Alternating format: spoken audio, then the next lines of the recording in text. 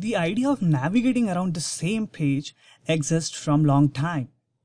If you have heard of something called page fragment and hash, which we can use to navigate to the different parts of the page. So you can see I have a list of articles at the top of my page and if I scroll down, I'm having details about those articles. So say suppose I want to go to the last article by clicking on this article link. I can go and give this article an ID of say NG and I can come back and link that article to my anchor tag href attribute. So now if I run and click on this link, you can see I have been scrolled down to that article.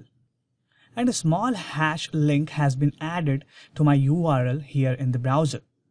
The story doesn't stop here. We can even listen for this hash change event in JavaScript. So I'm going to listen for this hash change event on my window object. Then I'm going to call a function and log location.hash value into it. Remove the hash value, press enter, open the console, click on the last link, and there we go. You can see in the console, we're getting hash change as output. Now here comes the most interesting part. Even if I remove this ID come back to my browser, press enter, open the console, click on the last link, I'm still getting that event fired, getting the hash value. But this time I'm not getting navigated to the fragment of the page. Interesting, right? Now I want you to think on this for some time. I mean this hash change thing can open a lot of new opportunities for us to develop our applications. I mean, I can form different kind of patterns here on my URL and even I can grab them using location.hash property.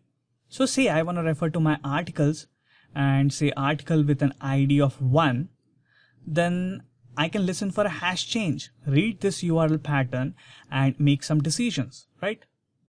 Uh, I'm going to change it to two and again getting new hash value. Can you see some opportunities here? let me show you a simple version of our own single page application version we can create using ng include and location service. So I have my spa.html file having two links in the navigation area and I'm using ng include to load my partials. You can see I have already defined a variable called URL and hard-coded its value to page1.html. So if I run, you can see it's loading and showing us page1.html in my spa shell page. Now I'm going to inject two different objects here in my controller. One is dollar $window object, which is similar to window object in JavaScript and dollar $location service, which will help us in getting some values from this URL. Let's use dollar $window object and listen for hash change event then call a handler function. Then I'm going to implement this handler function and do console.log of hash value using location.path function. Refresh, click on the links. Can you see that we are getting the hash values?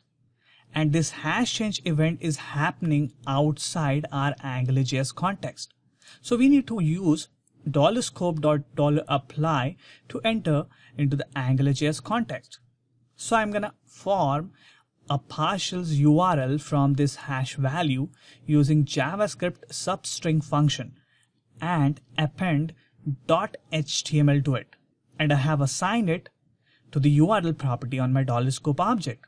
Refresh, click on page 2, see that page is coming. Click on page 1 and that too working fine. So this is a simple SPA, I mean single page application code using ng include and dollar $location service. We can expand it to do more, but we don't need to do that as we have this feature inbuilt into AngularJS.